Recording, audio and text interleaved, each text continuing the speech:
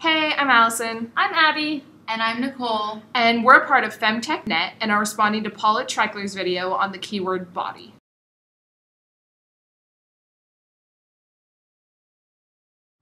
Paula Treichler mentions that throughout history, female bodies have been portrayed as solely for reproduction in medical textbooks, but the feminist movement changed that.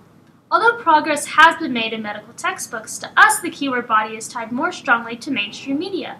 From a young age, almost every little girl is exposed to a Barbie doll. We internalize her five 5'9, 32 inch bust and 16 inch waist as normal. Eventually, we realize the proportions of the Barbie are unreal, and that an actualized Barbie doll would be physically incapable of standing upright, let alone birthing the child society demands of her.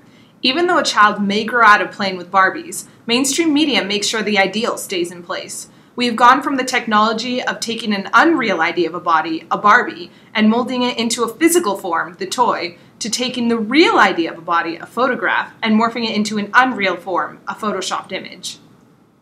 The image of the ideal female body we're exposed to as young children never goes away.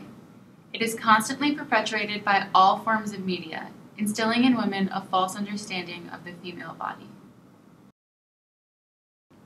Thanks for watching our Feminist FemTech Net video. Say hi to Coco. Subscribe to our channel. Bye!